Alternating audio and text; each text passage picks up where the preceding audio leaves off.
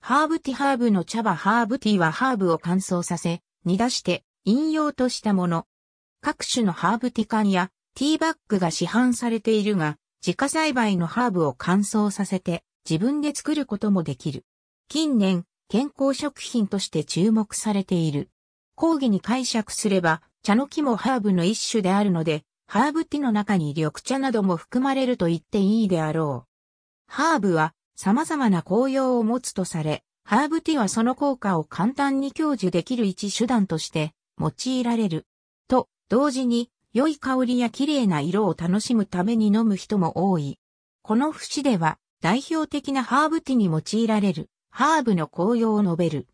これ以外にもレモングラス、シナモン、ローズマリーなど各種のハーブティーが市販されており、数種類のハーブをブレンドしたものもある。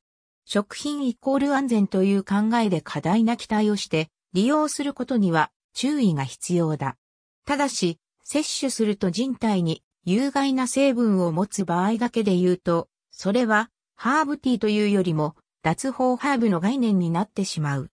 ハーブティーの概念はあくまで人体の健康を保ち続けるという健康的な使用用途を要する場合だけであり、人体の健康を阻害されるものはすべて法に基づいて、その抽出過程さえ厳重に規定されている。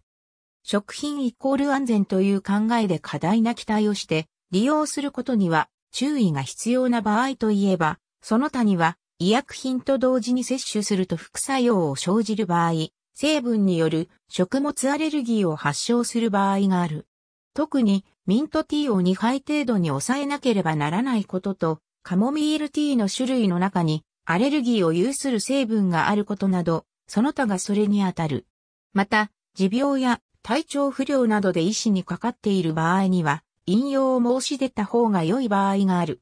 ただし、ハーブティーに対する専門的知識をどこまで医師が持っているかわからないため、通信講座を利用するなどして、しっかり知識をつけるか、それぞれのハーブティーの成分に関して調査した上で、引用すべきであることは否めない。時に、妊娠及び授乳中の摂取にも、慎重さが求められることもある。セント・ジョーンズワート、エゾウコギ、シナモン以上銀コール酸を多く含み、生の葉を自分で乾燥させた場合、危険性が高い。コンフリー日本名ではヒレハリソウ。長寿のハーブとしてブームになったが、エチミジンを多く含み、肝機能障害を引き起こす恐れがあるため、2004年以降日本では販売禁止。